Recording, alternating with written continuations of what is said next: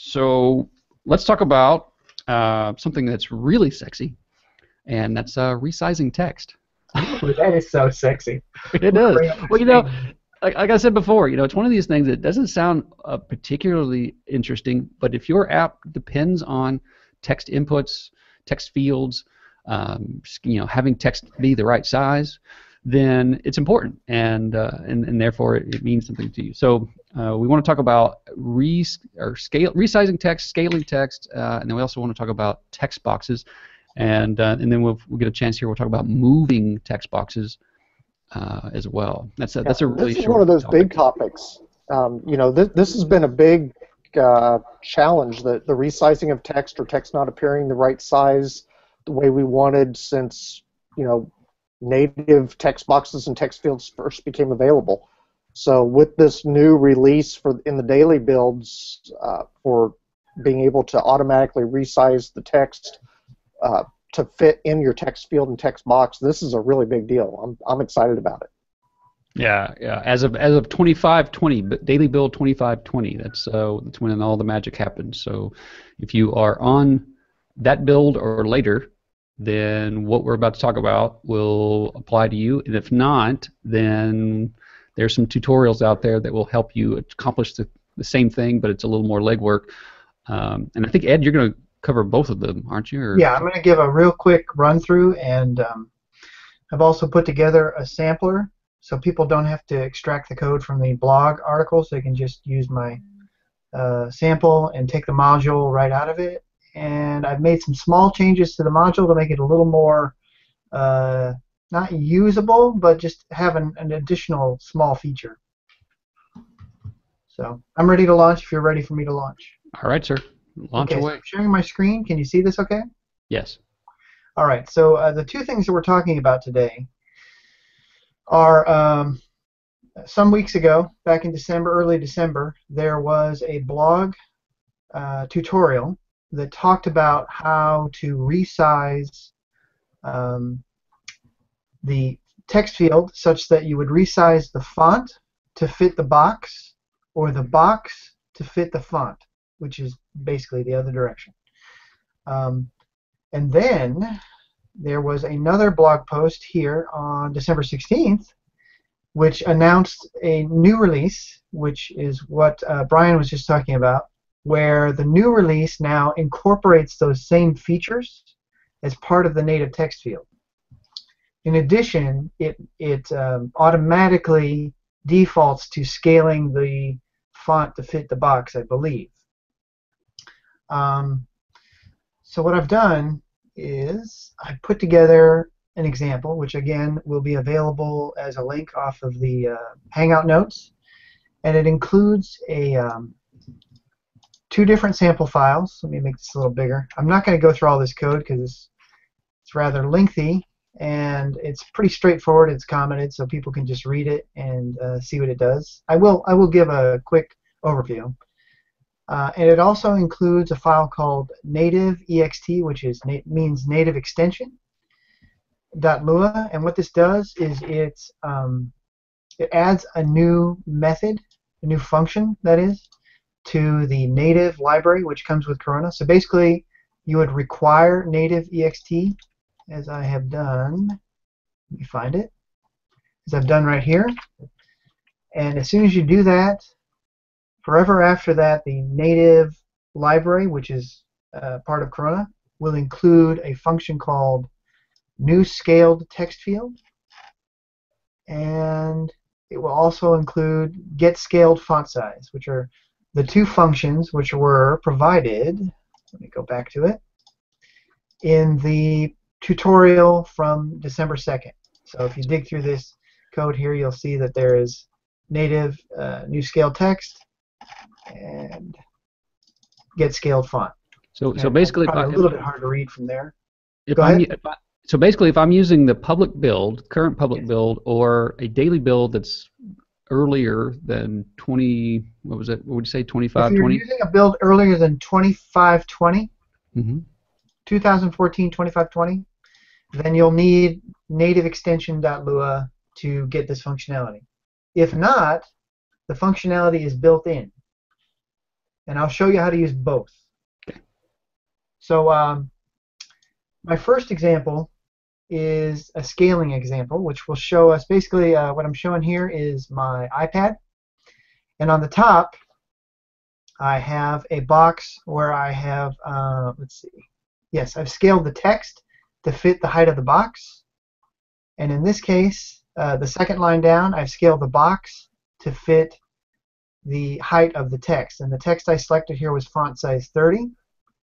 Uh, the third line here is showing font size 30, so it should look the same, and it does.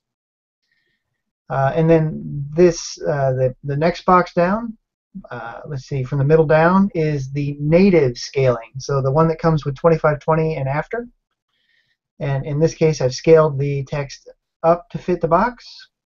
Second line is scaled the box to fit a 30 font, and again the 30 font just for comparison to show that they're the same size.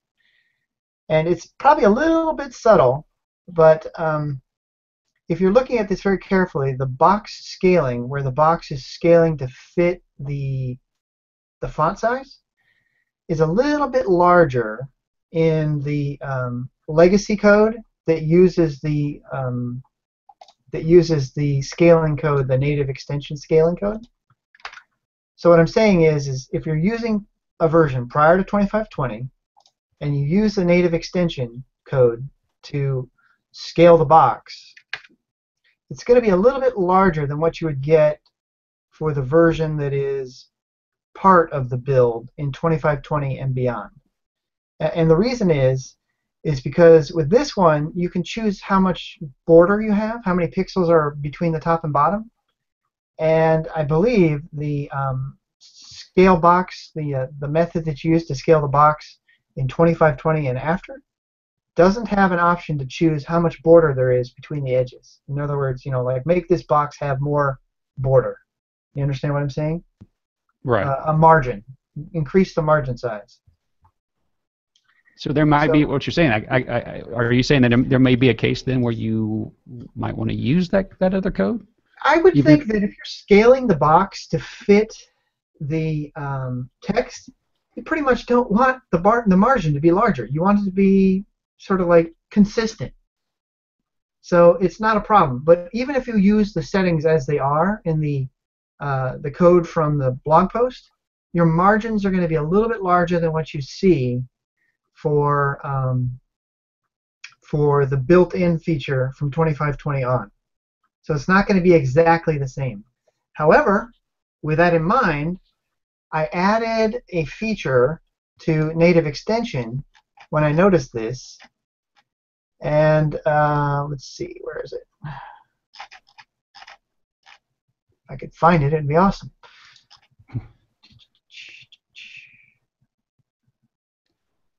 Here. I also Go ahead.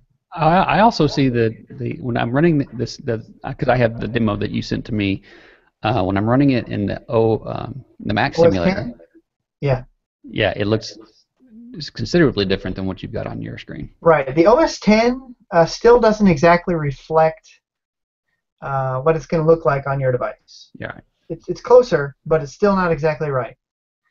For example, um, one thing is, is if I had filled this up with more text than the width, on the device you get a little ellipses, but in the simulator it wraps. Hmm. So it doesn't give you at all the correct. The other thing you're going to see is the spacing is goofed up between the top and the bottom sometimes Right. on uh, in OS 10 on the simulator. Yeah. So people running this in the simulator, be aware of that. You've got to run it on the device to get the final, uh, uh, the exact um, result. So uh, in the original version of native new scale text, which is from that first blog post, the arguments were the x position, the y position, the width of the text field, the uh, font size that you wanted, and that was it. But because I noticed that it wasn't resizing this portion exactly correctly, I modified the code and added another argument, which is uh, if you can supply, it's an optional argument. And what it says is, is how many pixels do you want the margin to be? So what this is saying, when I set it to 10, is saying have a 5 pixel margin on the top and a 5 pixel margin on the bottom. So if I wanted no margin, I could set this to zero, and it wouldn't come out to be exactly no margin, but it would be narrower. So, uh, and I'm not going to run it because I'd have to build it, and I'm doing this sort of like a complicated computer connection here. I don't want to, I don't want to crash anything in the middle of this discussion. Okay. So uh, just to reiterate, uh, you can get this example, and I'll find the code. Sorry. And if you run the scaling example, it will run this code here, which you can step through. It's all commented. And you'll see this on your device. Okay. Old style on the top, uh, new style on the bottom. And uh, the code is smart enough not to run it if it, you're using an older version of the uh, the Corona. So it'll it'll not. You, if you're running with 2519 or prior, you'll only see this part right here, the, The top, top part. section. Okay. Uh, so the other thing that we uh, talked about previously, and it's important for people to understand, is I don't remember when this feature got put in, but way back in the day, you could not put uh, native text fields in display groups. So native text fields will always be on top of everything else, but ideally, you would be able to put them in a display group because once objects are in a display group, you have the ability to move every object in the group by moving the group itself. In other words, if I have an object that pixels uh, 100 100 and another one at 200 200 and then I move the group up by 10 pixels, it's as if I moved them to 190 and 200 190. So the value of this for text fields is that by putting the native display objects in, uh, and am I showing this? Yes. By putting them in a display group, it gives you access to the ability to scroll your content. And I don't know if that's coming through. Yep, it is. By building an interface that takes touch inputs. So what I'm doing, you can't see it, is I'm touching sort of the blackish gray region on the side and sliding my finger up and down. What I've got there is a rectangle that takes a touch input, and when I move my finger, it moves the group that the text fields have been inserted into. And if we look at the code, And each what and I've each done here, each text field is still a working text field too, right? yeah, I mean, each can, text field is a working text field, and I'll show you that. Okay. Is I create a text field, and I insert it into a group, and then down here, I have uh, okay, I have create a group, and then I create a bunch of text fields, and I pass that group into the builder, and then I insert them. So that's this group here, and I insert all these new text fields in there. And I do all my little doohickeys where I place them and I put some content in them. And then I have this touch function, which is attached to a rectangle behind everything. And when I touch that, all it does basically is a little calculation to move the drag group up or down. And so what you see when I touch the screen and drag is that the fields move.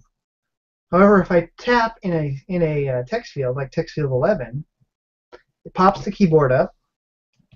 I can type some stuff, and then the way my routine is set up, if I tap the black area on the right or left, it automatically closes the keyboard and allows me to drag again.